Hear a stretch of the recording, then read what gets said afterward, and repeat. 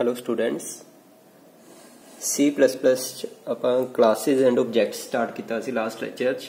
ਸੋ ਅੱਜ ਆਪਾਂ ਇੱਕ ਵਾਰੀ ਥੋੜਾ ਜਿਹਾ ਉਹਨੂੰ ਰਿਵਾਈਜ਼ ਕਰਦੇ ਹਾਂ ਤੇ ਨਾਲ ਹੀ ਉਹਦੇ ਇੱਕ ਹੋਰ ਟੌਪਿਕ ਕਵਰ ਕਰਾਂਗੇ that is static members so ਪਹਿਲਾਂ ਕਲਾਸਿਸ ਐਂਡ ਆਬਜੈਕਟਸ ਨੂੰ ਆਪਾਂ ਰਿਵਾਈਜ਼ ਕਰਦੇ ਹਾਂ। ਸੋ ਦੇਖੋ ਆਪਾਂ ਇੱਥੇ ਇੱਕ ਕਲਾਸ ਡਿਫਾਈਨ ਕੀਤੀ ਹੈ ਕਲਾਸ ਨੰਬਰ ਪਹਿਲਾਂ ਕਲਾਸ ਕੀਵਰਡ ਲਿਖਿਆ, ਜਿੱਦਾਂ ਆਪਾਂ ਸਟਰਕਚਰ ਡਿਫਾਈਨ ਕਰਦੇ ਹਾਂ, ਉਸੇ ਤਰੀਕੇ ਨਾਲ ਆਪਾਂ ਇੱਕ ਕਲਾਸ ਡਿਫਾਈਨ ਕੀਤੀ ਕਲਾਸ ਦੈਨ ਨੰਬਰ ਉਹਦਾ ਨਾਮ ਰੱਖ ਲਿਆ। ਕੋਈ ਵੀ ਹੋਰ ਨੰਬਰ ਵੀ ਲੈ ਸਕਦੇ ਹਾਂ ਆਪਾਂ ਇੱਥੇ। ਕੋਈ ਵੀ ਹੋਰ ਨਾਮ ਵੀ ਲੈ ਸਕਦੇ ਹਾਂ। ਕੁਝ ਵੀ ਆਪਾਂ ਇੱਥੇ ਆਇਡੈਂਟੀਫਾਇਰ ਨੇਮ ਚੂਜ਼ ਕਰ ਸਕਦੇ ਹਾਂ। ਸੋ ਇਹਦੇ ਵਿੱਚ ਆਪਾਂ ਦੋ ਵੇਰੀਏਬਲ ਕ੍ਰੀਏਟ ਕੀਤੇ a ਐਂਡ b ਦੋਨੋਂ ਹੀ ਇੰਟੀਜਰ ਨੇ। ਇਕੱਠਾ ਵੀ ਲਿਖ ਸਕਦੇ ਹੋ int a, b ਸੋ ਦੋ ਵੇਰੀਏਬਲ ਕ੍ਰੀਏਟ ਕੀਤੇ। ਦੈਨ ਉਸ ਤੋਂ ਬਾਅਦ ਪਬਲਿਕ ਐਕਸੈਸ ਸਪੈਸੀਫਾਇਰ ਲਗਾਇਆ। ਇਹਦਾ ਲਿਖਣ ਦਾ ਮਤਲਬ ਕੀ ਹੈ ਕਿ ਬਾਈ ਡਿਫਾਲਟ ਜਿਹੜੇ ਵੀ ਕਲਾਸ ਦੇ ਮੈਂਬਰਸ ਨੇ ਜਨਰਲੀ ਆਪਾਂ ਕਲਾਸ 'ਚ ਦੋ ਚੀਜ਼ਾਂ ਲੈਂਦੇ ਆ member variables and member functions so ਸਾਰੇ ਬਾਈ ਡਿਫਾਲਟ ਕੀ ਹੁੰਦੇ ਨੇ? ਪ੍ਰਾਈਵੇਟ ਹੁੰਦੇ ਨੇ। ਬਟ ਆਪਾਂ ਨਾਰਮਲੀ ਕੀ ਯੂਜ਼ ਕਰਦੇ ਹਾਂ? ਡਾਟਾ ਨੂੰ ਆਪਾਂ ਪ੍ਰਾਈਵੇਟ ਰੱਖਦੇ ਹਾਂ ਤੇ ਫੰਕਸ਼ਨਸ ਨੂੰ ਪਬਲਿਕ ਰੱਖਦੇ ਹਾਂ। ਸੋ ਇਸ ਕਰਕੇ ਆਪਾਂ ਇੱਥੇ ਪਬਲਿਕ ਲਿਖਿਆ ਹੈ। ਹੁਣ ਪਬਲਿਕ ਤੋਂ ਬਾਅਦ ਜਿੰਨੀਆਂ ਵੀ ਚੀਜ਼ਾਂ ਆਪਾਂ ਡਿਫਾਈਨ ਕਰਾਂਗੇ, ਚਾਹੇ ਉਹ ਵੇਰੀਏਬਲਸ ਨੇ ਡਾਟਾ ਮੈਂਬਰਸ ਨੇ, ਚਾਹੇ ਉਹ ਫੰਕਸ਼ਨਸ ਨੇ, ਉਹ ਸਾਰੇ ਕੀ ਹੋਣਗੇ? ਪਬਲਿਕ ਸੋ ਇੱਥੇ ਆਪਾਂ ਦੋ ਫੰਕਸ਼ਨਸ ਲਏ ਆ। ਇੱਕ ਹੈ void set data, ਜਿਹਦੇ ਵਿੱਚ ਆਪਾਂ ਦੋ ਵੈਲਿਊਜ਼ ਪਾਸ ਕਰਕੇ ਉਹਨਾਂ ਨੂੰ ਅਸਾਈਨ ਕਰਵਾਇਆ, a ਐਂਡ b ਨੂੰ। ਤੇ ਇੱਕ ਆਊਟਪੁੱਟ ਫੰਕਸ਼ਨ ਹੈ ਜਿੱਥੇ ਆਪਾਂ ਦੋਨੋਂ ਵੈਲਿਊਜ਼ ਨੂੰ ਪ੍ਰਿੰਟ ਕਰਵਾ ਰਹੇ ਉਸ ਤੋਂ ਬਾਅਦ ਕਲਾਸ ਨੂੰ ਆਪਾਂ ਨੇ ਖਤਮ ਕਰਤਾ ਹੈ, ਯਾਨੀ ਕਿ ਇੱਥੇ ਕਲਾਸ ਇਹ ਡਿਫਾਈਨ ਹੋ ਗਈ। ਸੋ ਇਹ ਹੈ ਕਲਾਸ ਦੀ ਡੈਫੀਨੇਸ਼ਨ ਇੱਥੇ ਬਟ ਹਜੇ ਇਹਨਾਂ ਨੂੰ ਕੋਈ ਵੀ ਮੈਮਰੀ ਨਹੀਂ ਪ੍ਰੋਵਾਈਡ ਹੋ ਰਹੀ, a ਐਂਡ b ਨੂੰ ਜਾਂ ਕਿਸੇ ਨੂੰ ਵੀ। ਮੈਮਰੀ ਕਦੋਂ ਪ੍ਰੋਵਾਈਡ ਹੁੰਦੀ ਹੈ? ਜਦੋਂ ਆਪਾਂ ਉਹ ਕਲਾਸ ਦਾ ਵੇਰੀਏਬਲ ਕ੍ਰੀਏਟ ਕਰਾਂਗੇ। ਤੇ ਉਸ ਕਲਾਸ ਦੇ ਵੇਰੀਏਬਲ ਨੂੰ ਆਪਾਂ ਕੀ ਬੋਲਦੇ ਹਾਂ? ਆਬਜੈਕਟ ਜਿਵੇਂ ਕਿ ਆਪਾਂ ਮੇਨ ਫੰਕਸ਼ਨ ਚ ਇੱਥੇ ਕ੍ਰੀਏਟ ਕੀਤਾ ਹੈ number n1 n2 and n3 ਜਦੋਂ ਹੀ ਤੁਸੀਂ ਇਹ statement ਲਿਖੋਗੇ n1 n2 and n3 ਤਾਂ ਤਿੰਨ ਆਬਜੈਕਟ ਕ੍ਰੀਏਟ ਹੋਣਗੇ n1 n2 ਐਂਡ n3 ਤਿੰਨਾਂ ਦੇ ਵਿੱਚ ਹੀ ਕੀ ਹੋਏਗਾ? A and b a and b ਇਹਨਾਂ ਨੂੰ ਆਬਜੈਕਟਸ ਨੂੰ ਆਪਾਂ ਇਨਸਟੈਂਸ ਵੀ ਬੋਲਦੇ ਆ ਆਬਜੈਕਟ ਕਹਿ ਸਕਦੇ ਹੋ ਤੁਸੀਂ, ਜਾਂ ਫਿਰ ਇਨਸਟੈਂਸ ਇਨਸਟੈਂਸ ਕਿਦੇ ਹੋਣਗੇ ਇਹ? Instance of number class instance of number class ਤੇ ਜਿਹੜੇ a ਤੇ b ਵੇਰੀਏਬਲ ਨੇ, ਇਹਨੂੰ ਆਪਾਂ ਕੀ ਬੋਲਦੇ ਆ ਡਾਟਾ ਮੈਂਬਰਸ ਤੁਸੀਂ ਇਹਨਾਂ ਨੂੰ ਇਨਸਟੈਂਸ ਡਾਟਾ ਮੈਂਬਰਸ ਵੀ ਕਹਿ ਸਕਦੇ ਹੋ। ਇਨਸਟੈਂਸ ਮੈਂਬਰਸ ਕਿਉਂ? ਇਨਸਟੈਂਸ ਡਾਟਾ ਕਿਉਂ?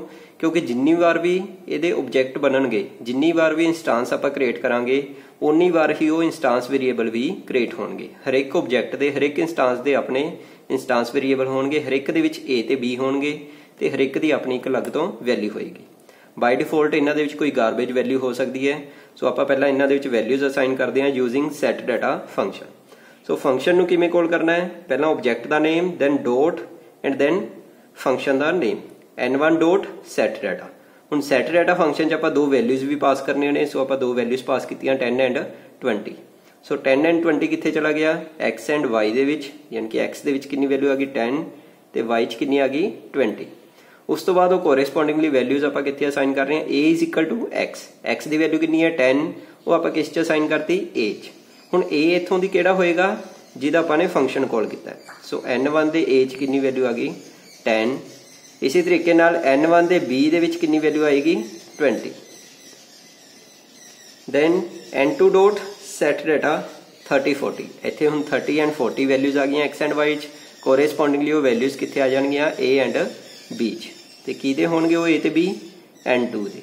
ਇਸੇ ਤਰੀਕੇ ਨਾਲ n3 ਡਾਟ set data 50 60 ਸੋ n3 ਦੇ ਵਿੱਚ ਵੈਲਿਊਜ਼ ਆ ਗਈਆਂ 50 ਐਂਡ 60 ਦੈਨ ਉਸ ਤੋਂ ਬਾਅਦ ਆਪਾਂ n1 ਡਾਟ ਆਊਟਪੁੱਟ ਆਊਟਪੁੱਟ ਦੇ ਵਿੱਚ ਆਪਾਂ a ਤੇ b ਦੀ ਵੈਲਿਊਜ਼ ਪ੍ਰਿੰਟ ਕਰਾ ਰਹੇ ਹਾਂ।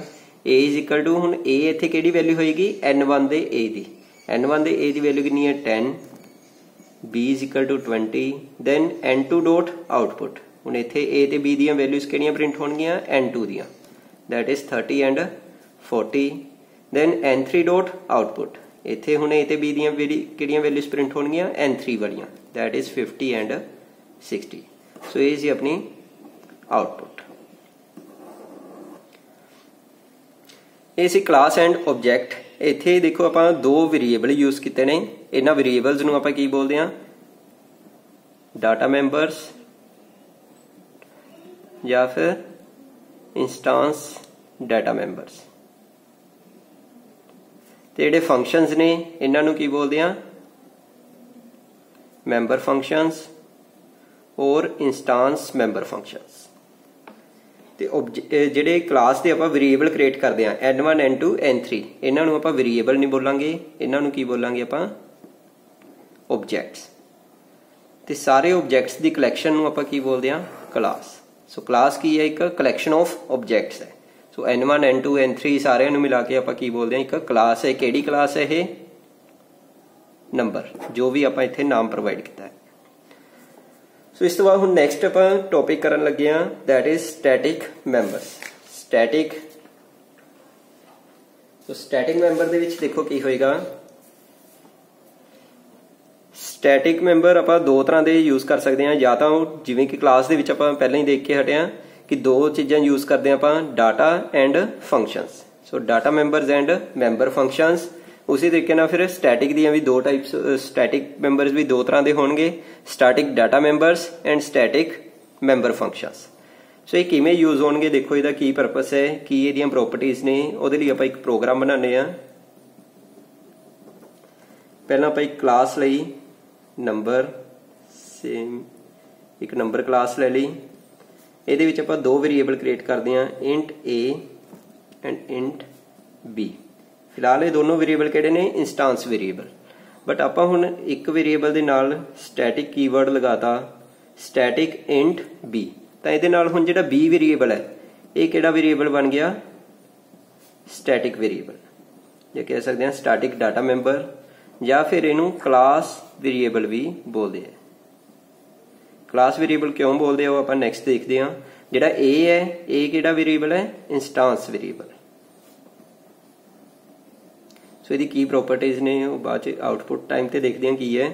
ਫਿਲਹਾਲ ਆਪਣੇ ਕੋਲ ਕੀ ਹੈ? ਇੱਕ ਨਾਰਮਲ ਵੇਰੀਏਬਲ ਹੈ, ਜਿਹਨੂੰ ਆਪਾਂ ਇਨਸਟੈਂਸ ਵੇਰੀਏਬਲ ਕਹਿ ਰਹੇ ਹਾਂ ਤੇ ਇੱਕ ਆਪਣੇ ਕੋਲ ਸਟੈਟਿਕ ਵੇਰੀਏਬਲ ਹੈ that is b then function ਉਦਾਂ ਹੀ ਕ੍ਰੀਏਟ ਕਰਦੇ ਹਾਂ। void suppose set data, ਇੱਥੇ ਆਪਾਂ ਇੱਕੋ ਹੀ ਵੈਲਿਊ ਪਾਸ ਕਰਾਵਾਂਗੇ। ਸੋ ਇਹ ਜਿਹੜੀ ਵੈਲਿਊ ਹੈ ਉਹ ਆਪਾਂ ਕਿੱਥੇ ਅਸਾਈਨ ਕਰਾ ਰਹੇ ਹਾਂ? A ਦੇ ਵਿੱਚ। A x ਐਂਡ b ਦੀ ਵੈਲਿਊ ਸਿੰਪਲੀ ਆਪਾਂ ਜਸਟ ਕੀ ਕਰ ਰਹੇ ਹਾਂ? ਇੰਕਰੀਮੈਂਟ ਕਰ ਰਹੇ ਹਾਂ। ਸਟੈਟਿਕ ਮੈਂਬਰ ਦੀ ਇੱਕ ਪ੍ਰੋਪਰਟੀ ਹੈ ਕਿ ਜਿਹੜਾ ਸਟੈਟਿਕ ਵੇਰੀਏਬਲ ਹੁੰਦਾ ਹੈ, ਉਹਦੀ ਇਨੀਸ਼ੀਅਲ ਵੈਲਿਊ ਕੀ ਹੁੰਦੀ ਹੈ? 0 ਬਾਈ ਡਿਫਾਲਟ ਵੈਲਿਊ ਉਹਦੀ ਕੀ ਹੋਏਗੀ? 0 ਹੋਏਗੀ। ਨਾਰਮਲ ਵੇਰੀਏਬਲ ਦੀ ਜਾਂ ਇਨਸਟੈਂਸ ਵੇਰੀਏਬਲ ਦੀ ਬਾਈ ਡਿਫਾਲਟ ਵੈਲਿਊ ਕੋਈ ਨਹੀਂ ਹੁੰਦੀ, ਉਹ ਗਾਰਬੇਜ ਵੈਲਿਊ ਵੀ ਹੋ ਸਕਦੀ ਹੈ। ਸੋ ਆਪਾਂ ਇੱਥੇ b ਨੂੰ ਕੀ ਕਰ ਰਹੇ ਹਾਂ ਇੰਕਰੀਮੈਂਟ ਕਰ ਰਹੇ ਹਾਂ then void output ਆਊਟਪੁੱਟ ਚ ਆਪਾਂ ਸਿੰਪਲੀ ਵੈਲਿਊਸ ਪ੍ਰਿੰਟ ਕਰਾ ਰਹੇ ਹਾਂ cout a is equal to a and cout b is equal to b then class close ਉਸ ਤੋਂ ਬਾਅਦ ਮੇਨ ਫੰਕਸ਼ਨ ਦੇ ਵਿੱਚ ਆਪਾਂ ਇਹਦੇ ਆਬਜੈਕਟ ਕ੍ਰੀਏਟ ਕਰਦੇ ਹਾਂ। ਨੰਬਰ n1 n2 n3 ਹੁਣ ਦੇਖੋ, ਜਦੋਂ ਹੀ ਆਪਾਂ ਨੇ n1 n2 n3 ਲਿਖਿਆ ਨੰਬਰ n1 n2 n3 ਤਾਂ ਤਿੰਨ ਆਬਜੈਕਟ ਕ੍ਰੀਏਟ ਹੋਣਗੇ। ਕਿਹੜੇ ਕਿਹੜੇ? n1 n2 ਤੇ n3 ਜਿੱਦਾਂ ਕਿ ਲਾਸਟ ਪ੍ਰੋਗਰਾਮ 'ਚ ਦੇਖਿਆ ਹੈ, ਤਾਂ ਤਿੰਨਾਂ ਦੇ ਵਿੱਚ ਕੀ ਹੁੰਦਾ ਸੀ? ਲਾਸਟ ਪ੍ਰੋਗਰਾਮ 'ਚ a ਤੇ b ਤਿੰਨਾਂ ਦੇ ਵਿੱਚ ਕ੍ਰੀਏਟ ਹੁੰਦੇ ਸੀ। ਬਟ ਹੁਣ ਇੱਥੇ ਇੱਕ ਡਿਫਰੈਂਸ ਹੈ a ਕਿਹੜਾ ਵੇਰੀਏਬਲ ਹੈ? ਇਨਸਟੈਂਸ ਵੇਰੀਏਬਲ ਇਹਨਾਂ ਤਿੰਨਾਂ ਨੂੰ ਆਪਾਂ ਇਨਸਟੈਂਸ ਬੋਲਦੇ ਆਂ ਆਬਜੈਕਟਸ ਨੂੰ ਆਪਾਂ ਇਨਸਟੈਂਸ ਵੀ ਬੋਲਦੇ ਆਂ ਸੋ ਇਸ ਕਰਕੇ ਤਿੰਨਾਂ ਦੇ ਵਿੱਚ a ਕ੍ਰੀਏਟ ਹੋਏਗਾ। A ਕ੍ਰੀਏਟ ਹੋ ਗਿਆ। ਬਟ b ਇਹਨਾਂ ਦੇ ਵਿੱਚ ਕ੍ਰੀਏਟ ਨਹੀਂ ਹੋਏਗਾ। ਕਿਉਂ? ਕਿਉਂਕਿ b ਕੀ ਹੈ? ਇੱਕ ਸਟੈਟਿਕ ਵੇਰੀਏਬਲ ਹੈ। ਸਟੈਟਿਕ ਵੇਰੀਏਬਲ ਨੂੰ ਆਪਾਂ ਕੀ ਬੋਲਦੇ ਆਂ ਕਲਾਸ ਵੇਰੀਏਬਲ ਸੋ ਇਹ ਧਿਆਨ ਨਾਲ ਦੇਖੋ ਸਟੈਟਿਕ ਵੇਰੀਏਬਲ ਕੀ ਹੁੰਦਾ ਹੈ? ਸਟੈਟਿਕ ਵੇਰੀਏਬਲ ਨੂੰ ਆਪਾਂ ਕਲਾਸ ਵੇਰੀਏਬਲ ਵੀ ਬੋਲਦੇ ਆਂ ਤੇ ਸਟੈਟਿਕ ਵੇਰੀਏਬਲ ਦੀ ਸਿਰਫ ਇੱਕੋ ਹੀ ਕਾਪੀ ਕ੍ਰੀਏਟ ਹੁੰਦੀ ਹੈ for the whole class static variable ਕਦੇ ਵੀ ਪਾਰਟਿਕੂਲਰ ਆਬਜੈਕਟਸ ਨੂੰ ਬਿਲੋਂਗ ਨਹੀਂ ਕਰਦਾ। ਸਟੈਟਿਕ ਵੇਰੀਏਬਲ ਕਿਹਨੂੰ ਬਿਲੋਂਗ ਕਰਦਾ? ਹੈ ਪੂਰੀ ਦੀ ਪੂਰੀ ਕਲਾਸ ਨੂੰ ਬਿਲੋਂਗ ਕਰਦਾ ਹੈ। ਸੋ ਸਟੈਟਿਕ ਵੇਰੀਏਬਲ ਦੀ ਸਿਰਫ ਇੱਕ ਕਾਪੀ ਕ੍ਰੀਏਟ ਹੋਏਗੀ। B ਟੂ ਤੇ ਸਟੈਟਿਕ ਵੇਰੀਏਬਲ ਸਾਰੇ ਆਬਜੈਕਟਸ ਉਹਨੂੰ ਸ਼ੇਅਰ ਕਰ ਸਕਦੇ ਆ। ਯਾਨੀ ਕਿ ਸਟੈਟਿਕ ਵੇਰੀਏਬਲ ਦੀ ਸਿਰਫ ਇੱਕ ਕਾਪੀ ਕ੍ਰੀਏਟ ਹੋਏਗੀ ਤੇ ਸਾਰੇ ਆਬਜੈਕਟ ਉਹਨੂੰ ਸ਼ੇਅਰ ਕਰ ਸਕਦੇ ਆ।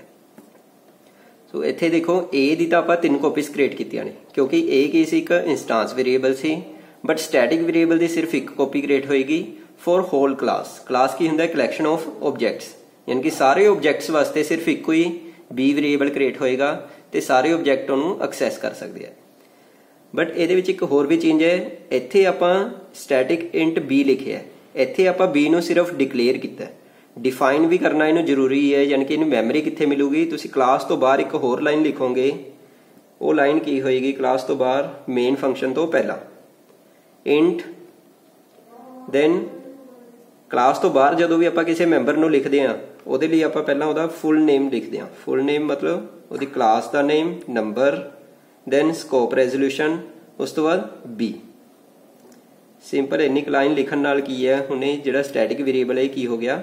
ਡਿਫਾਈਨ ਹੋ ਗਿਆ ਡਿਫਾਈਨ ਸਟੈਟਿਕ ਵੇਰੀਏਬਲ ਸੋ ਇੱਥੇ ਹੁਣ b ਨੂੰ ਮੈਮਰੀ ਕ੍ਰੀਏਟ ਹੋਏਗੀ b ਦੀ ਸਿਰਫ ਇੱਕੋ ਹੀ ਮੈਮਰੀ ਕ੍ਰੀਏਟ ਹੋਏਗੀ ਤੇ ਸਾਰੇ ਆਬਜੈਕਟ ਨੂੰ ਸ਼ੇਅਰ ਕਰਨਗੇ ਸੋ ਇੱਥੇ ਸਿਰਫ ਦੋ ਹੀ ਡਿਫਰੈਂਸ ਆਪਾਂ ਦੇਖੇ ਹੈ ਕਿ ਇੱਕ ਸਟੈਟਿਕ ਵੇਰੀਏਬਲ ਨੂੰ ਪਹਿਲਾਂ ਡਿਕਲੇਅਰ ਕੀਤਾ ਕਲਾਸ ਦੇ ਵਿੱਚ ਯਾਨੀ ਕਿ ਇਹ ਕਲਾਸ ਨੂੰ ਬਿਲੋਂਗ ਕਰ ਰਿਹਾ ਹੈ ਕਿਹੜੀ ਕਲਾਸ ਨੂੰ ਨੰਬਰ ਕਲਾਸ ਨੂੰ ਬਟ ਇਹਨੂੰ ਮੈਮਰੀ ਇੱਥੇ ਮਿਲੇਗੀ ਜਦੋਂ ਆਪਾਂ ਇਹਨੂੰ ਡਿਫਾਈਨ ਕਰਾਂਗੇ ਸੋ ਡਿਫਾਈਨ ਕਰਨ ਲੱਗੇ ਉਹਦੀ ਡਾਟਾ ਟਾਈਪ ਲਿਖਣੀ ਹੈ ਫਿਰ ਉਹਦਾ ਫੁੱਲ ਨੇਮ ਤੁਸੀਂ ਇੱਥੇ ਕੋਈ ਹੋਰ ਵੈਲਿਊ ਵੀ ਦੇ ਸਕਦੇ ਹੋ ਬਟ ਬਾਈ ਡਿਫਾਲਟ ਇਹਦੀ ਵੈਲਿਊ ਕੀ ਹੋਏਗੀ? 0 ਅਗਰ ਕੋਈ ਹੋਰ ਵੈਲਿਊ ਦਿੰਨੇ ਆਪਾਂ 10 20 50 ਦੈਨ ਉਹ ਵੈਲਿਊ ਇੱਥੇ ਅਸਾਈਨ ਹੋ ਜਾਏਗੀ। ਸੋ ਬਾਈ ਡਿਫਾਲਟ ਇਹਦੀ ਵੈਲਿਊ ਕੀ ਹੈ? 0 ਅਗਰ ਆਪਾਂ ਕੋਈ ਵੀ ਵੈਲਿਊ ਨਹੀਂ ਦੇ ਰਹੇ ਇੱਥੇ, ਤਾਂ ਡਿਫਾਲਟ ਵੈਲਿਊ ਦੀ ਕੀ ਮੰਨੀ ਜਾਏਗੀ? 0 ਨੈਕਸਟ ਆਪਾਂ ਕਰਦੇ ਹਾਂ ਹੁਣ n1 ਡੋਟ ਕਿਹੜਾ ਫੰਕਸ਼ਨ ਯੂਜ਼ ਕੀਤਾ ਸੀ ਆਪਾਂ ਨੇ? Set data so set data ਇੱਥੇ ਸਪੋਜ਼ ਆਪਾਂ ਵੈਲਿਊ ਪਾਸ ਕਰਵਾਤੀ 10 ਤਾਂ ਹੁਣ ਉਹ 10 ਵੈਲਿਊ ਕਿੱਥੇ ਜਾਏਗੀ? X ਦੇ ਵਿੱਚ ਦੈਨ x ਤੋਂ ਵੈਲਿਊ ਕਿੱਥੇ ਆ ਗਈ? age. ਹੁਣ a ਕਿਹਦਾ ਇਹ? n1 ਦਾ। ਸੋ n1 ਦੇ age ਕਿੰਨੀ ਵੈਲਿਊ ਆ ਗਈ? 10 ਤੇ ਨਾਲ ਹੀ ਆਪਾਂ ਕੀ ਕਰ ਰਹੇ ਹਾਂ? b ਸੋ b ਨੇ ਕੀ ਕਰਨਾ ਹੈ? ਵੈਲਿਊ ਕਿੰਨੀ ਅਸਾਈਨ ਕਰ ਵੈਲਿਊ ਕਿੰਨੀ ਪ੍ਰਿੰਟ ਹੋਏਗੀ ਇੱਥੇ? 1 ਸੋ ਵੈਲਿਊ ਇੱਥੇ ਅਸਾਈਨ ਹੋ ਗਈ 1 0 ਦੀ ਇਨਕਰੀਟ ਇਨਕਰੀਜ਼ ਕਰਕੇ 0 ਨੂੰ ਇੱਕ ਇੰਕਰੀਮੈਂਟ ਕਰਕੇ ਵੈਲਿਊ ਕਿੰਨੀ ਹੋ ਗਈ ਇੱਥੇ? 1 then n2 dot set data ਇੱਥੇ ਸਪੋਜ਼ ਆਪਾਂ ਵੈਲਿਊ ਪਾਸ ਕਰਵਾਤੀ 20 ਹੁਣ ਇਹ 20 ਵੈਲਿਊ ਕਿੱਥੇ ਗਈ? X ਦੇ ਵਿੱਚ। ਦੈਨ x ਤੋਂ ਵੈਲਿਊ ਕਿੱਥੇ ਆ ਗਈ? Age ਤੇ a ਕਿਹਦਾ ਮੰਨਿਆ ਜਾਊਗਾ ਇਹ? N2 ਦਾ। ਸੋ n2 ਦੇ age ਵੈਲਿਊ ਕਿੰਨੀ ਆ ਗਈ? 20 ਨੈਕਸਟ ਹੈ b ਹੁਣ b ਇੱਥੇ a ਵਾਲਾ ਹੀ ਅਸਾਈਨ ਹੋਏਗਾ। ਕਿਉਂਕਿ b ਆਪਣੇ ਕੋਲ ਸਿਰਫ ਇੱਕੋ ਹੀ ਹੈ। ਸਾਰੇ ਆਬਜੈਕਟ ਉਹਨੂੰ ਸ਼ੇਅਰ ਕਰ ਰਹੇ ਨੇ। ਹੁਣ ਇੱਥੇ ਪ੍ਰੀਵੀਅਸ ਵੈਲਿਊ ਕਿੰਨੀ ਸੀ? 1 1 ਤੋਂ ਇਨਕਰੀਜ਼ ਹੋ ਕੇ ਹੁਣ ਵੈਲਿਊ ਇੱਥੇ ਕਿੰਨੀ ਆ ਗਈ? 2 next n3 dot set data ਇੱਥੇ ਸਪੋਜ਼ ਵੈਲਿਊ ਪਾਸ ਕਰਤੀ ਆਪਾਂ ਨੇ 30 ਹੁਣ ਇਹ 30 ਵੈਲਿਊ ਕਿੱਥੇ ਜਾਏਗੀ? ਏਜ a ਕਿਹੜਾ ਹੈ? N3 ਦਾ। ਪਲੱਸ b b ਦਾ ਮਤਲਬ ਕੀ ਹੈ? ਹੁਣ ਜੋ ਇਹਦੀ ਪ੍ਰੀਵੀਅਸ ਵੈਲਿਊ ਹੈ। ਪ੍ਰੀਵੀਅਸ ਵੈਲਿਊ ਕੀ ਹੈ ਉਰੇ? 2 2 ਨੂੰ ਓਵਰਰਾਈਟ ਕਰਕੇ ਇੱਥੇ ਵੈਲਿਊ ਕਿੰਨੀ ਹੋ ਗਈ ਹੁਣ? 3 ਸੋ b ਦੀ ਹੁਣ ਲੇਟੈਸਟ ਵੈਲਿਊ ਆਪਣੇ ਕੋਲ ਕਿੰਨੀ ਆ ਰਹੀ ਹੈ? 3 ਇਸ ਤੋਂ ਬਾਅਦ ਅਗਰ ਆਪਾਂ ਹੁਣ ਇਹਨੂੰ ਆਊਟਪੁੱਟ ਕਰਵਾਉਂਦੇ ਆ ਦੇਖੋ n1 dot output n2 dot, output and n3 dot output. ਤਾਂ ਦੇਖੋ ਇੱਥੇ ਕੀ ਵੈਲਿਊਜ਼ ਪ੍ਰਿੰਟ ਹੋਣਗੀਆਂ। ਅਗਰ ਆਪਾਂ ਇਹਦੀ ਆਊਟਪੁੱਟ ਨੋਟ ਕਰੀਏ। n1 dot output n1 dot output ਨੇ ਕੀ ਕਰਨਾ ਹੈ? ਆਊਟਪੁੱਟ ਫੰਕਸ਼ਨ ਨੂੰ ਕਾਲ ਕੀਤਾ। A ਦੀ ਵੈਲਿਊ ਪ੍ਰਿੰਟ ਹੋਈ। A a ਕਿਹੜੀ ਵੈਲਿਊ ਪ੍ਰਿੰਟ ਹੋਏਗੀ? n1 ਦੇ a ਦੀ। n1 ਦੇ a ਦੀ ਵੈਲਿਊ ਕਿੰਨੀ ਹੈ? 10 ਨੈਕਸਟ b ਹੁਣ ਇੱਥੇ ਧਿਆਨ ਰੱਖਣਾ ਹੈ, b ਆਪਣੇ ਕੋਲ ਸਿਰਫ ਇੱਕੋ ਹੀ ਹੈ। B ਆਪਣੇ ਕੋਲ ਇੱਕੋ ਹੀ ਹੈ ਤੇ ਉਹਦੀ ਵੈਲਿਊ ਵੀ ਇੱਕ ਹੋਏਗੀ। ਸੋ ਲੇਟੈਸਟ ਵੈਲਿਊ ਆਪਣੇ ਕੋਲ ਕਿੰਨੀ ਸ਼ੋ ਕਰ ਰਹੀ ਹੈ? 3 ਸੋ ਇੱਥੇ ਵੈਲਿਊ ਕਿੰਨੀ ਪ੍ਰਿੰਟ ਹੋਏਗੀ? 3 ਕਾਫੀ ਸਟੂਡੈਂਟ ਇੱਥੇ ਮਿਸਟੇਕ ਕਰਦੇ ਆ ਕਿ b ਦੀ ਵੈਲਿਊ ਇੱਥੇ 1 ਮੰਨ ਲੈਂਦੇ ਆ। ਬਟ 1 ਵੈਲਿਊ ਆਪਣੇ ਕੋਲ ਨਹੀਂ ਹੈ, ਉਹ ਓਵਰਰਾਈਟ ਹੋ ਕੇ ਪਹਿਲਾਂ 2 ਹੋ ਗਈ ਸੀ। ਦੈਨ ਓਵਰਰਾਈਟ ਹੋ ਕੇ ਹੁਣ ਲੇਟੈਸਟ ਵੈਲਿਊ ਆਪਣੇ ਕੋਲ ਕਿੰਨੀ ਸ਼ੋ ਹੋ ਰਹੀ ਹੈ? 3 ਕਿਉਂਕਿ b ਆਪਣੇ ਕੋਲ ਸਿਰਫ ਇੱਕੋ ਹੀ ਕਾਪੀ ਹੈ b ਦੀ, ਤੇ ਉਹ ਇੱਕ ਕਾਪੀ 'ਚ ਇੱਕੋ ਹੀ ਵੈਲਿਊ ਹੋਏਗੀ। ਤੇ ਹੁਣ ਆਪਣੇ ਕੋਲ ਲੇਟੈਸਟ ਵੈਲਿਊ ਕਿੰਨੀ ਹੈ? 3 ਸਾਰੇ ਆਬਜੈਕਟ ਵਾਸਤੇ ਉਹ ਵੈਲਿਊ ਕਿੰਨੀ ਸ਼ੋ ਹੋਏਗੀ? 3 n2 ਡਾਟ ਆਊਟਪੁੱਟ ਹੁਣ n2 ਦੀ ਵੈਲਿਊ ਪਹਿਲਾਂ a ਦੀ ਵੈਲਿਊ ਪ੍ਰਿੰਟ ਹੋਏਗੀ। A ਹੁਣ ਇੱਥੇ ਕਿਹੜਾ ਹੈ? N2 the. N2 the a ਚ ਵੈਲਿਊ ਕਿੰਨੀ ਹੈ? 20 then b is equal to ਹੁਣ n2 ਨੂੰ ਵੀ b ਦੀ ਵੈਲਿਊ ਕਿੰਨੀ ਸ਼ੋ ਹੋ ਰਹੀ ਹੈ? 3 ਸੋ ਆਪਾਂ ਪ੍ਰਿੰਟ ਕਰਾਵਾਂਗੇ 3 ਨੈਕਸਟ ਹੈ n3 ਡਾਟ ਆਉਟਪੁੱਟ n3 ਦੇ ਵਿੱਚ a ਦੀ ਵੈਲਿਊ ਕਿੰਨੀ ਪ੍ਰਿੰਟ ਹੋਏਗੀ? 30 and b is equal to n3 ਨੂੰ ਵੀ b ਦੀ ਵੈਲਿਊ ਕਿੰਨੀ ਸ਼ੋ ਹੋ ਰਹੀ ਹੈ? 3 ਸੋ ਸਾਰਿਆਂ ਵਾਸਤੇ ਆਪਣੇ ਕੋਲ b ਦੀ ਵੈਲਿਊ ਕਿੰਨੀ ਹੈ? 3 ਇੱਥੋਂ ਇਹ ਵੀ ਪ੍ਰੂਵ ਹੁੰਦਾ ਹੈ ਕਿ b ਦੀ ਆਪਣੇ ਕੋਲ ਸਿਰਫ ਇੱਕੋ ਹੀ ਕਾਪੀ ਹੈ। ਅਗਰ b ਦੀ ਵੈਲਿਊ ਆਪਣੇ ਕੋਲ ਪਹਿਲਾਂ ਕਿੰਨੀ ਸੀ ਸਟਾਰਟਿੰਗ ਚ? 0 0 ਤੋਂ ਆਪਾਂ ਨੇ ਇਨਕਰੀਜ਼ ਕਰਕੇ 1 ਕਰਤੀ ਦੈਨ ਇਨਕਰੀਜ਼ ਕਰਕੇ 2 ਕਰਤੀ ਦੈਨ ਇਨਕਰੀਜ਼ ਕਰਕੇ 3 ਕਰਤੀ। ਸੋ ਲੇਟੈਸਟ ਆਪਣੇ ਕੋਲ ਵੈਲਿਊ ਕਿੰਨੀ ਹੈ? 3 ਇਸ ਕਰਕੇ ਸਾਰਿਆਂ ਵਿੱਚ ਆਪਣੇ ਕੋਲ ਵੈਲਿਊ ਕਿੰਨੀ ਪ੍ਰਿੰਟ ਹੋ ਰਹੀ ਹੈ? 3 So you see static variables, static data members.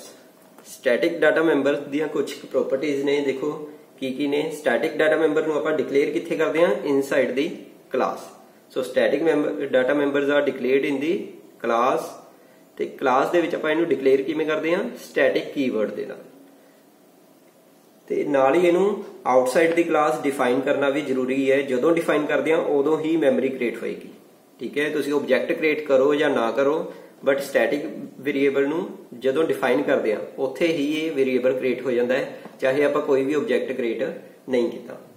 ਸੋ ਇਹਨਾਂ ਨੂੰ ਆਪਾਂ ਕਲਾਸ ਮੈਂਬਰ ਵੇਰੀਏਬਲ ਵੀ ਬੋਲਦੇ ਆ ਸਟੈਟਿਕ ਵੇਰੀਏਬਲਸ ਨੂੰ ਕਲਾਸ ਮੈਂਬਰ ਵੇਰੀਏਬਲ ਵੀ ਬੋਲਦੇ ਆ it doesn't belong to objects it doesn't belong to any object static ਜਿਹੜਾ ਡਾਟਾ ਵੇਰੀਏਬਲ ਹੈ ਸਟੈਟਿਕ ਮੈਂਬਰ ਹੈ ਜੋ ਉਹ ਕਿਸੇ ਪਾਰਟਿਕੂਲਰ ਆਬਜੈਕਟ ਨੂੰ ਬਿਲੋਂਗ ਨਹੀਂ ਕਰਦਾ। ਰਾਦਰ ਉਹ ਸਾਰੇ ਦੇ ਸਾਰੇ ਆਬਜੈਕਟਸ ਵਾਸਤੇ ਇੱਕ ਕਾਮਨ ਹੁੰਦਾ ਹੈ, ਪੂਰੀ ਦੀ ਪੂਰੀ ਕਲਾਸ ਨੂੰ ਬਿਲੋਂਗ ਕਰਦਾ ਹੈ। ਸੋ ਇਹਨਾਂ ਨੂੰ ਆਪਾਂ ਐਕਸੈਸ ਕਰ ਸਕਦੇ ਹਾਂ। ਨੈਕਸਟ ਆਪਾਂ ਕਰਦੇ ਹਾਂ static member functions static member function ਲਈ ਆਪਾਂ ਸੇਮ ਪ੍ਰੋਗਰਾਮ ਦੇ ਵਿੱਚ ਕੁਝ ਚੇਂਜਸ ਕਰਾਂਗੇ। ਸਟੈਟਿਕ ਫੰਕਸ਼ਨ ਦੇਖੋ।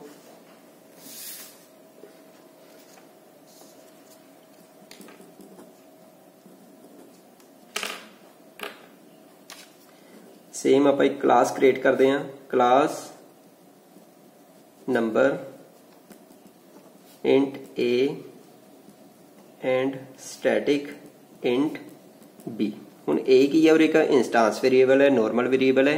B ਕੀ ਹੈ ਇੱਕ ਕਲਾਸ ਵੇਰੀਏਬਲ ਹੈ, ਜਿਹਨੂੰ ਆਪਾਂ ਸਟੈਟਿਕ ਵੇਰੀਏਬਲ ਕਹਿੰਦੇ ਹਾਂ। ਸੋ b ਕੀ ਹੈ ਇੱਕ ਸਟੈਟਿਕ ਵੇਰੀਏਬਲ ਹੈ, ਜਾਂ ਕਹਿ ਸਕਦੇ ਹਾਂ ਕਲਾਸ ਵੇਰੀਏਬਲ ਹੈ। ਦੈਨ ਇੱਕ ਫੰਕਸ਼ਨ ਕ੍ਰੀਏਟ ਕਰਦੇ ਹਾਂ ਆਪਾਂ, void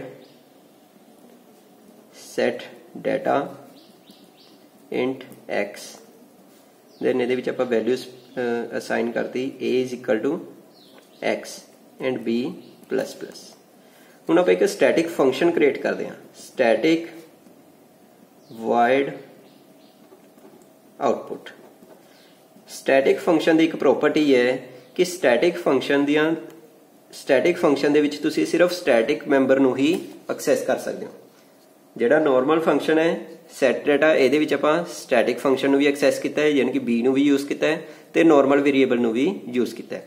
ਬਟ ਜਿਹੜਾ ਸਟੈਟਿਕ ਫੰਕਸ਼ਨ ਹੈ, ਉਹਦੇ ਵਿੱਚ ਤੁਸੀਂ ਸਿਰਫ ਸਟੈਟਿਕ ਵੇਰੀਏਬਲ ਨੂੰ ਹੀ ਯੂਜ਼ ਕਰ ਸਕਦੇ ਹੋ ਨਾਰਮਲ ਵੇਰੀਏਬਲ ਇਨਸਟੈਂਸ ਵੇਰੀਏਬਲ ਨੂੰ ਯੂਜ਼ ਨਹੀਂ ਕਰ ਸਕਦੇ। ਸੋ ਇਸ ਕਰਕੇ ਆਪਾਂ ਇਹਦੇ ਵਿੱਚ ਸਿਰਫ v ਦੀ ਵੈਲਿਊ ਹੀ ਪ੍ਰਿੰਟ ਕਰਾਵਾਂਗੇ। Cout b b ਅਗਰ ਤੁਸੀਂ a ਦੀ ਵੈਲਿਊ ਵੀ ਪ੍ਰਿੰਟ ਕਰਵਾਉਣਾ ਚਾਹੁੰਦੇ ਹੋ ਤਾਂ ਉਹਦੇ ਲਈ ਆਪਾਂ ਇੱਕ ਨਾਰਮਲ ਫੰਕਸ਼ਨ ਲੈ ਸਕਦੇ ਹਾਂ ਬਟ ਆਪਾਂ ਨੂੰ ਇੱਥੇ ਜ਼ਰੂਰਤ ਨਹੀਂ ਹੈ। ਦੈਨ ਸਟੈਟਿਕ ਵੇਰੀਏਬਲ ਨੂੰ ਕ੍ਰੀਏਟ ਕਰਦੇ ਹਾਂ। ਕਿਦਾਂ ਕ੍ਰੀਏਟ ਕਰਨਾ ਸੀ? int ਦੈਨ ਉਹਦਾ complete name complete name that is class name scope resolution and then b so ਇੱਥੇ ਸਟੈਟਿਕ ਵੇਰੀਏਬਲ ਕ੍ਰੀਏਟ ਹੋ ਗਿਆ ਇੱਕ, b ਤੇ ਉਹਦੀ ਵੈਲਿਊ ਕੀ ਹੋਏਗੀ? ਇਨੀਸ਼ੀਅਲ ਵੈਲਿਊ 0 ਦੇਖੋ, ਹੁਣ ਇੱਥੇ ਆਪਾਂ ਕੋਈ ਵੀ ਆਬਜੈਕਟ ਕ੍ਰੀਏਟ ਨਹੀਂ ਕੀਤਾ। ਬਟ ਸਟਿਲ b ਆਪਣੇ ਕੋਲ ਆ ਗਿਆ ਹੈ ਤੇ ਉਹਦੀ ਵੈਲਿਊ ਕਿੰਨੀ ਹੈ? 0 ਹੁਣ ਸਟੈਟਿਕ ਫੰਕਸ਼ਨ ਦੀ ਇੱਕ ਹੋਰ ਪ੍ਰੋਪਰਟੀ ਹੈ। ਇੱਕ ਪ੍ਰੋਪਰਟੀ ਆਪਾਂ ਦੇਖ ਚੁੱਕੇ, ਇੱਕ ਕੀ ਹੈ? ਕਿ ਸਟੈਟਿਕ ਫੰਕਸ਼ਨ ਦੇ ਵਿੱਚ ਆਪਾਂ ਸਿਰਫ ਸਟੈਟਿਕ ਵੇਰੀਏਬਲ ਨੂੰ ਹੀ ਐਕਸੈਸ ਕਰ ਸਕਦੇ ਹਾਂ। ਤੇ ਦੂਸਰੀ ਮੇਨ ਪ੍ਰੋਪਰਟੀ ਦੀ ਕੀ ਹੈ? ਕਿ ਸਟੈਟਿਕ ਫੰਕਸ਼ਨ ਨੂੰ ਤੁਸੀਂ ਆਬਜੈਕਟ ਤੋਂ ਬਿਨਾ ਵੀ ਕਾਲ ਕਰ ਸਕਦੇ ਹੋ। ਕਿਵੇਂ? ਦੇਖੋ ਵਰਡ ਮੇਨ ਸਟਾਰਟ ਕੀਤਾ ਆਪਾਂ ਨੇ। ਹੁਣ ਜਦੋਂ ਵੀ ਆਪਾਂ ਕੋਈ ਆਬਜੈਕਟ ਕਿਸੇ ਫੰਕਸ਼ਨ ਨੂੰ ਕਾਲ ਕਰਨਾ ਹੈ, ਜਿਵੇਂ ਕਿ ਲਾਸਟ ਪ੍ਰੋਗਰਾਮ ਚ ਆਪਾਂ, ਜਾਂ ਹੁਣ ਤੱਕ ਜਿੰਨੇ ਵੀ ਪ੍ਰੋਗਰਾਮ ਬਣਾਏ ਆ, ਉਹਨਾਂ ਚ ਆਪਾਂ ਦੇਖਦੇ ਆਏ ਆ ਕਿ ਆਪਾਂ ਆਬਜੈਕਟ ਕ੍ਰੀਏਟ ਕਰਦੇ ਆ n1 n2 s3 n3 s1 s2 ਜਾਂ b1 b2 ਤਾਂ ਆਪਾਂ ਉਹਦੇ ਥਰੂ ਇਹਨਾਂ ਨੂੰ ਕਾਲ ਕਰਦੇ ਆ set ਡਾਟਾ ਔਰ ਆਊਟਪੁੱਟ ਫੰਕਸ਼ਨ ਨੂੰ। ਜਿਵੇਂ ਕਿ ਆਪਾਂ ਲਾਸਟ ਪ੍ਰੋਗਰਾਮ ਚ ਕੀਤਾ ਸੀ n1.setData n2.setData n3.setData ਬਟ ਇੱਥੇ ਹੁਣ ਆਪਣੇ ਕੋਲ ਕੋਈ ਵੀ ਆਬਜੈਕਟ ਨਹੀਂ ਹੈ। ਅਗਰ ਤੁਸੀਂ ਆਊਟਪੁੱਟ ਫੰਕਸ਼ਨ ਨੂੰ ਕਾਲ ਕਰਨਾ ਚਾਹੁੰਦੇ ਹੋ ਤਾਂ ਕਿਵੇਂ ਕਰਾਂਗੇ? ਆਉਟਪੁੱਟ ਫੰਕਸ਼ਨ ਨੂੰ ਨੋ ਡਾਊਟ ਆਪਾਂ ਕਾਲ ਕਰ ਸਕਦੇ ਹਾਂ ਕਿਉਂਕਿ ਇਹ ਇੱਕ ਸਟੈਟਿਕ ਫੰਕਸ਼ਨ ਹੈ। ਤੇ ਸਟੈਟਿਕ ਮੈਂਬਰ ਜਿਹੜੇ ਹੁੰਦੇ ਨੇ, ਉਹ ਕਿਹਨੂੰ ਬਿਲੋਂਗ ਕਰਦੇ ਨੇ? ਪੂਰੀ ਦੀ ਪੂਰੀ ਕਲਾਸ ਨੂੰ ਬਿਲੋਂਗ ਕਰਦੇ ਨੇ। ਕਿਸੇ ਪਾਰਟਿਕੂਲਰ ਆਬਜੈਕਟ ਨੂੰ ਬਿਲੋਂਗ ਨਹੀਂ ਕਰਦੇ। ਸੋ ਇਹ ਪੂਰੀ ਦੀ ਪੂਰੀ ਕਲਾਸ ਨੂੰ ਬਿਲੋਂਗ ਕਰਦੇ ਨੇ। ਇਸ ਕਰਕੇ ਆਪਾਂ ਇਹਨੂੰ ਕਾਲ ਕਰ ਸਕਦੇ ਹਾਂ ਬਾਈ ਯੂਜ਼ਿੰਗ ਦੀ ਕਲਾਸ ਨੇਮ ਸੋ ਦੇਖੋ ਕਿਵੇਂ ਕਾਲ ਕਰਨਾ ਇਹਨੂੰ। ਕਲਾਸ ਦਾ ਨੇਮ ਲਿਖਾਂਗੇ ਆਪਾਂ number then scope resolution and then function the name output so ਇਹਦੇ ਨਾਲ ਕੀ ਹੈ? ਆਉਟਪੁੱਟ ਫੰਕਸ਼ਨ ਕਾਲ ਹੋ ਗਿਆ। ਸੋ ਇਹਦੀ ਆਉਟਪੁੱਟ ਕੀ ਆਏਗੀ? ਆਉਟਪੁੱਟ ਆਏਗੀ ਆਪਣੇ ਕੋਲ। ਜਦੋਂ ਆਉਟਪੁੱਟ ਫੰਕਸ਼ਨ ਕਾਲ ਕੀਤਾ, ਤਾਂ ਆਉਟਪੁੱਟ ਫੰਕਸ਼ਨ ਦੇ ਵਿੱਚ ਦੇਖੋ ਕੀ ਕਰਾਣਾ ਆਪਾਂ? Print b so b b ਦੀ ਵੈਲਿਊ ਕਿੰਨੀ ਹੈ ਸਟਾਰਟਿੰਗ 'ਚ? 0 ਸੋ 0 ਵੈਲਿਊ ਪ੍ਰਿੰਟ ਹੋ ਗਈ। ਇਸ ਤੋਂ ਬਾਅਦ ਆਪਾਂ ਇਹਦਾ ਇੱਕ ਆਬਜੈਕਟ ਕ੍ਰੀਏਟ ਕਰਦੇ ਹਾਂ। Suppose number n1 n2 and n3 ਜਦੋਂ ਆਪਾਂ ਨੇ ਇਹ ਸਟੇਟਮੈਂਟ ਲਿਖੀ ਤਾਂ ਆਪਣੇ ਕੋਲ n1 ਕ੍ਰੀਏਟ ਹੋਇਆ n2 ਕ੍ਰੀਏਟ ਹੋਇਆ ਐਂਡ ਇੱਕ n3 ਤਿੰਨ ਆਬਜੈਕਟ ਕ੍ਰੀਏਟ ਹੋ ਗਏ। ਤਿੰਨੋਂ ਆਬਜੈਕਟ ਦੇ ਵਿੱਚ ਕੀ ਹੋਏਗਾ? A ਹੋਏਗਾ ਆਪਣੇ ਕੋਲ, b ਨਹੀਂ ਹੋਊਗਾ, ਕਿਉਂਕਿ b ਕੀ ਇੱਕ ਸਟੈਟਿਕ ਵੇਰੀਏਬਲ ਹੈ, ਉਹ ਪਹਿਲਾਂ ਆਲਰੇਡੀ ਕ੍ਰੀਏਟ ਹੋ ਚੁੱਕਿਆ ਹੈ ਪੂਰੀ ਦੀ ਪੂਰੀ ਕਲਾਸ ਵਾਸਤੇ। ਸੋ ਇੱਥੇ ਸਿਰਫ ਇੰਸਟੈਂਸ ਵੇਰੀਏਬਲ ਕ੍ਰੀਏਟ ਹੋਣਗੇ a then n1 dot set data function call ਕਰਦੇ ਹਾਂ। 10 ਵੈਲਿਊ ਪਾਸ ਕਰਤੀ। ਸੇਮ ਜਿਵੇਂ ਪਿਛਲੇ ਪ੍ਰੋਗਰਾਮ ਚ ਕੀਤਾ ਸੀ। N2 ਡੋਟ set data, ਇੱਥੇ ਵੈਲਿਊ ਪਾਸ ਕਰਤੀ ਆਪਾਂ ਨੇ 20 n3 ਡੋਟ set data, ਇੱਥੇ ਵੈਲਿਊ ਪਾਸ ਕਰਤੀ ਆਪਾਂ ਨੇ 30 ਸੋ ਕੋਰੈਸਪੋਂਡਿੰਗਲੀ 10 20 ਐਂਡ 30 ਵੈਲਿਊਜ਼ ਕਿੱਥੇ ਜਾਣਗੀਆਂ? A ਦੇ ਵਿੱਚ 10 20 ਐਂਡ 30 ਤੇ ਨਾਲ ਹੀ b++ ਹੋ ਕੇ, ਜਿਵੇਂ ਕਿ ਪਿਛਲੇ ਪ੍ਰੋਗਰਾਮ 'ਚ ਕੀਤਾ ਸੀ ਆਪਾਂ ਨੇ 0 ਤੋਂ ਪਹਿਲਾਂ ਇਨਕਰੀਜ਼ ਹੋ ਕੇ 1 ਹੋ ਜਾਏਗਾ ਦੈਨ 1 ਤੋਂ ਇਨਕਰੀਜ਼ ਹੋ ਕੇ 2 ਹੋ ਜਾਏਗਾ ਦੈਨ 2 ਤੋਂ ਇਨਕਰੀਜ਼ ਹੋ ਕੇ 3 ਯਾਨੀ ਕਿ ਲੇਟੈਸਟ ਵੈਲਿਊ ਆਪਣੇ ਕੋਲ b ਦੀ ਕਿੰਨੀ ਹੈ? 3 ਹੁਣ ਅਗਰ ਆਪਾਂ ਇਹਨੂੰ ਪ੍ਰਿੰਟ ਕਰਾਵਾਂਗੇ, ਤੁਸੀਂ ਇਹਨੂੰ ਹੁਣ ਦੇਖੋ ਪ੍ਰਿੰਟ ਕਿਹਦੇ ਥਰੂ ਕਰਾਣਾ ਆਪਾਂ ਨੇ? ਆਊਟਪੁੱਟ ਫੰਕਸ਼ਨ ਦੇ ਥਰੂ ਹੁਣ ਆਊਟਪੁੱਟ ਫੰਕਸ਼ਨ ਨੂੰ ਆਪਾਂ ਆਬਜੈਕਟ ਦੇ ਥਰੂ ਵੀ ਕਾਲ ਕਰ ਸਕਦੇ ਹਾਂ, ਜਾਂ ਫਿਰ ਕਲਾਸ ਦੇ ਥਰੂ ਵੀ ਕਾਲ ਕਰ ਸਕਦੇ ਹਾਂ। ਚਾਹੇ ਤੁਸੀਂ n1.output ਲਿਖੋ, ਚਾਹੇ n2.output ਲਿਖੋ, ਚਾਹੇ n3.output ਲਿਖੋ, ਜਾਂ ਚਾਹੇ number scope resolution output so ਸਾਰਿਆਂ ਦੇ ਵਿੱਚ ਸੇਮ ਹੀ ਕੰਮ ਸੇਮ ਹੀ ਟਾਸਕ ਪਰਫਾਰਮ ਹੋਏਗਾ number scope resolution and then output so ਇੱਥੇ ਹੁਣ ਆਉਟਪੁੱਟ ਕੀ ਆਏਗੀ? B ਕਿੰਨੀ ਵੈਲਿਊ ਪ੍ਰਿੰਟ ਹੋਏਗੀ? 3 ਚਾਹੇ ਅਗਰ ਤੁਸੀਂ n3 ਡੋਟ ਆਉਟਪੁੱਟ ਲਿਖੋਗੇ, ਤਾਂ ਵੀ ਵੈਲਿਊ 3 ਪ੍ਰਿੰਟ ਹੋਏਗੀ। n1 ਡੋਟ ਆਉਟਪੁੱਟ ਲਿਖਾਂਗੇ, ਤਾਂ ਵੀ ਵੈਲਿਊ ਕਿੰਨੀ ਪ੍ਰਿੰਟ ਹੋਏਗੀ? 3 ਕਿਉਂਕਿ b ਦੀ ਹੁਣ ਲੇਟੈਸਟ ਵੈਲਿਊ ਕਿੰਨੀ ਆਪਣੇ ਕੋਲ? 3 ਤੇ ਉਹ ਸਾਰੇ ਆਬਜੈਕਟ ਨੂੰ ਸ਼ੇਅਰ ਕਰ ਰਹੇ ਨੇ। ਸੋ ਇਹ ਸੀ ਸਟੈਟਿਕ ਮੈਂਬਰਸ ਸਟੈਟਿਕ ਮੈਂਬਰਸ ਚ ਆਪਾਂ ਦੋ ਚੀਜ਼ਾਂ ਕੀਤੀਆਂ ਨੇ static data members and static function so static function ਦੇ ਵਿੱਚ ਧਿਆਨ ਰੱਖਣਾ ਇਹਦੀਆਂ ਦੋ ਪ੍ਰੋਪਰਟੀਆਂ ਨੇ। ਇੱਕ ਤਾਂ ਕੀ ਹੈ ਕਿ ਸਟੈਟਿਕ ਫੰਕਸ਼ਨ ਦੇ ਵਿੱਚ ਆਪਾਂ ਸਿਰਫ ਸਟੈਟਿਕ ਮੈਂਬਰ ਨੂੰ ਹੀ ਐਕਸੈਸ ਕਰ ਸਕਦੇ ਹਾਂ ਨਾਰਮਲ ਮੈਂਬਰ ਨੂੰ ਐਕਸੈਸ ਨਹੀਂ ਕਰ ਸਕਦੇ। ਇੰਸਟੈਂਸ ਵੇਰੀਏਬਲ ਨੂੰ ਐਕਸੈਸ ਨਹੀਂ ਕਰ ਸਕਦੇ, ਯਾਨੀ ਕਿ ਤੁਸੀਂ ਇੱਥੇ a ਦੀ ਵੈਲਿਊ ਐਕਸੈਸ ਨਹੀਂ ਕਰ ਸਕਦੇ। A ਨੂੰ ਅਗਰ ਐਕਸੈਸ ਕਰਨ ਦੀ ਕੋਸ਼ਿਸ਼ ਕਰਾਂਗੇ ਤਾਂ ਐਰਰ ਆਏਗੀ। ਤੇ ਦੂਸਰਾ ਕੀ ਹੈ ਕਿ ਸਟੈਟਿਕ ਫੰਕਸ਼ਨ ਨੂੰ ਜਾਂ ਸਟੈਟਿਕ ਮੈਂਬਰ ਨੂੰ ਤੁਸੀਂ ਚਾਹੇ ਉਹ ਡਾਟਾ ਮੈਂਬਰ ਹੈ, ਚਾਹੇ ਉਹ ਫੰਕਸ਼ਨ ਹੈ ਕੋਈ। ਉਹਨੂੰ ਤੁਸੀਂ ਕਲਾਸ ਦੇ ਨਾਮ ਦੇ ਨਾਲ ਵੀ ਕਾਲ ਕਰ ਸਕਦੇ ਹੋ। ਕਲਾਸ ਦੇ ਨਾਮ ਦੇ ਨਾਲ ਐਕਸੈਸ ਕਰ ਸਕਦੇ ਹੋ। ਬਸ਼ਰਤੇ ਇੱਥੇ ਪਬਲਿਕ ਔਰ ਪ੍ਰਾਈਵੇਟ ਵਾਲੇ ਐਕਸੈਸ ਸਪੈਸੀਫਾਇਰ ਦੇ ਰੂਲ ਅਪਲਾਈ ਹੋਣਗੇ। ਅਗਰ ਤੁਸੀਂ ਉਹਨੂੰ ਪਬਲਿਕ ਲਿਖਿਆ ਤਾਂ ਹੀ ਕਲਾਸ ਤੋਂ ਬਾਹਰ ਐਕਸੈਸ ਕਰ ਸਕਦੇ ਹੋ। ਡਾਟਾ ਨਾਰਮਲੀ ਆਪਾਂ ਪ੍ਰਾਈਵੇਟ ਰੱਖਦੇ ਹਾਂ। ਸੋ ਇਸ ਕਰਕੇ ਇਹਨੂੰ ਐਕਸੈਸ ਨਹੀਂ ਕਰ ਸਕਦੇ। ਅਗਰ ਡਾਟਾ ਨੂੰ ਵੀ ਐਕਸੈਸ ਕਰਨਾ ਹੈ, ਤਾਂ ਉਹਨੂੰ ਵੀ ਆਪਾਂ ਪਬਲਿਕ ਕਰਨਾ ਪਏਗਾ। ਸੋ ਇਸ is static members thank you